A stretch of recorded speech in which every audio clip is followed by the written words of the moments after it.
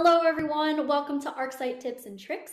Today I'm going to show you how to embed location-based photos. So in order to get started, we are going to, I'm going to show you this drawing and on the right you will see a toolbar and you will go all the way down to the photo option.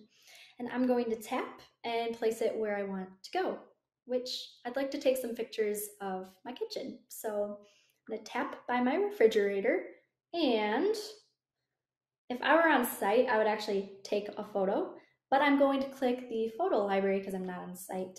And there's my fridge. Got it. Add it. Boom.